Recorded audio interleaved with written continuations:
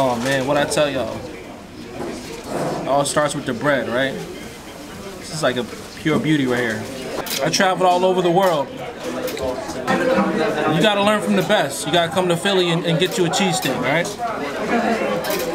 Hey, what's going on, guys? Thank you again for joining me on my daily vlog.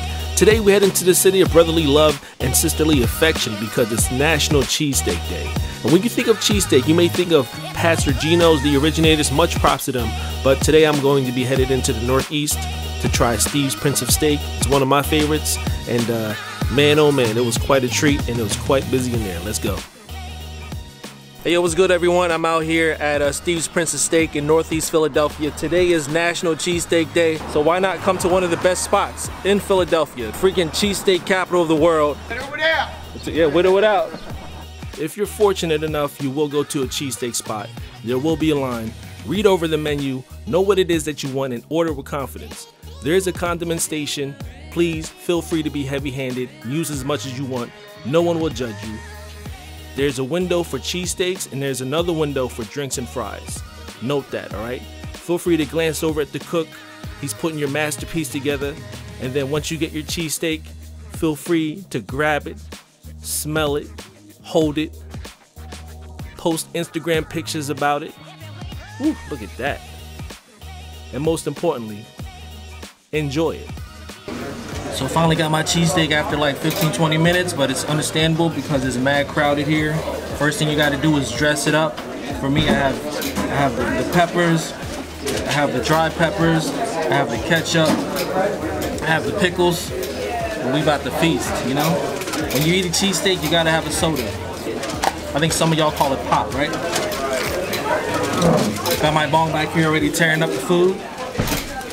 Oh man, what I tell y'all? It all starts with the bread, right? This is like a pure beauty right here. This is a pure beauty. Some cheesesteaks, they chop it up. But for me, I like the cheesesteaks just like this. And it is legendary.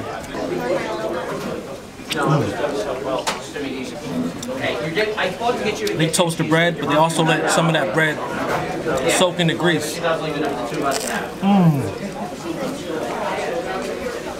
That's exactly how I remember this cheesesteak. We gotta top it off with some ketchup, you know?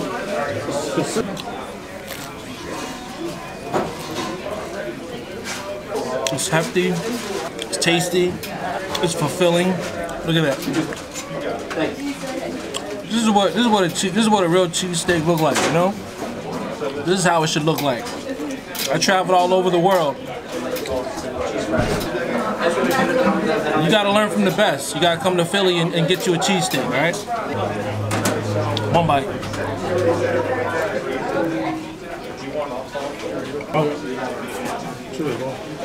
Happy National Cheesesteak Day, you heard? But I feel like it's National Cheesesteak Day every day in Philly. and you gotta top off that cheesesteak with some ketchup with every bite. Mmm. Mmm. Me, I'm a hot sauce, hot pepper type of dude, so I'm gonna put some of that dried chili in there, as well as a, a pepper, and I'm gonna just go in, all right? I'm gonna just take about. Mmm.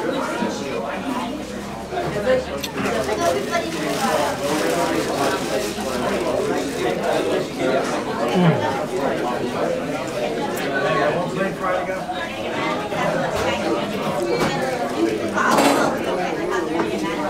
Every bite is just filled with a crunchy texture of the bread.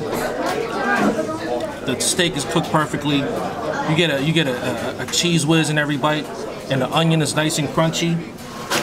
And then the peppers is nice and hot, just like how I like it, you know? A cheesesteak is a very personal experience.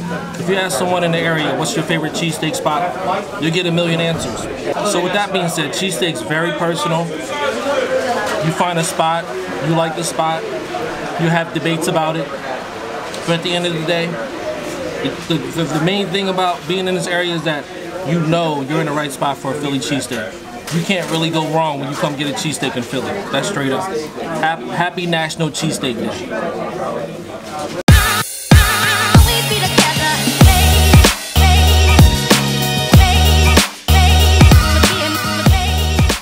Wow, that was such a great cheesesteak Thank you guys for joining me. Please subscribe to the channel. I'm gonna be bringing you more food vlogs, more recipes. I'm gonna go home and sleep. I got the itis now. I'll see y'all tomorrow. Maybe. I don't know, we'll see. Peace.